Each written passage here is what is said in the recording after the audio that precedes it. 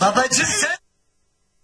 Ramazan ayı dolayısıyla Urla Belediyesi tarafından düzenlenen Ramazan eğlenceleri Urla'da başladı. Ramazan ayı boyunca Urla Cumhuriyet Meydanı Seyirlik Aşık Maşuk, Karagöz Hacivat, İllüzyon Show, Semazen, Fasıl ve halk oyunları gösterileriyle canlanacak.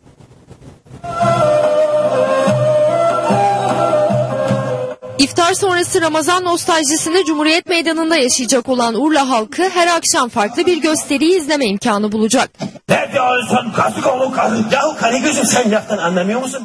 Seyyar standlarda ise özellikle Ramazan aylarında yapılan Osmanlı şerbeti ve Osmanlı macunu yerini alacak, vatandaşlara ise ücretsiz dağıtılacak.